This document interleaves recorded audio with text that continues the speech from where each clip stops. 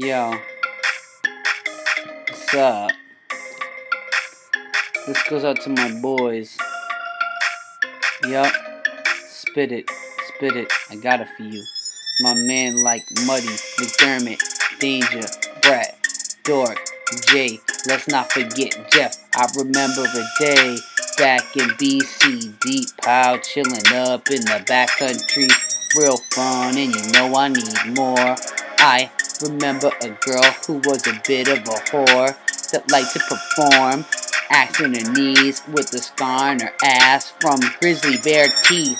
Rest in peace to my man BD. You'll always be in our loving memories. We laugh when Brett ran to the bathroom. He rushed the door, then came back in 10 minutes. We laughed in hysterics because we thought he jerked off.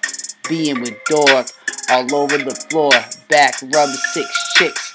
Getting next to me, we got mad love on six hits of ecstasy. Chillin' with Jay up at Enunciate. Supposedly, he caught a 10 pound bass. He took a picture that couldn't be denied, but it didn't mean shit, cause I still thought he lied. At UMass, I'd be chillin' with Jeff before class, we'd be smoking a spliff.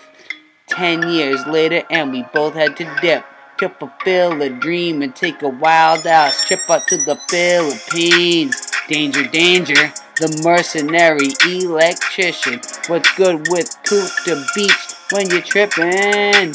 In Indo, I get it in, bro. Young girls with perky tits, bro. They getting next to B. Did someone say ecstasy? Nah, man. We were at the Liberty, looking at the pygmies. So many memories. I thank y'all for befriending me.